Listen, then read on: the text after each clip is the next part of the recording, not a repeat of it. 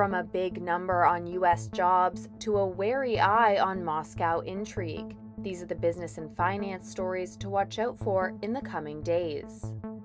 Investors will be watching for Friday's US jobs report.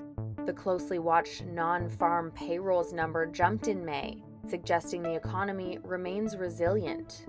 Any surprise in June's figure could determine the Federal Reserve's next rate move.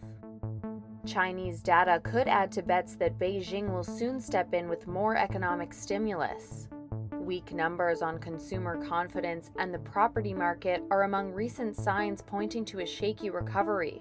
Economists bet policymakers will soon cut rates again, boost support for homebuyers, and invest more in high tech manufacturing. Tuesday sees a tough call on rates in Australia. A big slide in inflation has made some think a hike is less likely, but robust retail sales numbers point the other way. Now, the odds are about 1 in 3 for another quarter point bump. Traders continue to watch for any fallout from the short lived mutiny in Russia. Commodity markets from oils to grains look most exposed to any new turmoil there. But the ruble has been tumbling too, dropping to 15 month lows against the dollar.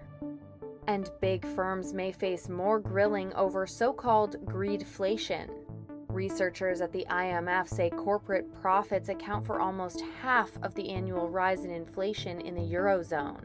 It says companies need to give up some of their juicy profits if price rises are to be brought under control.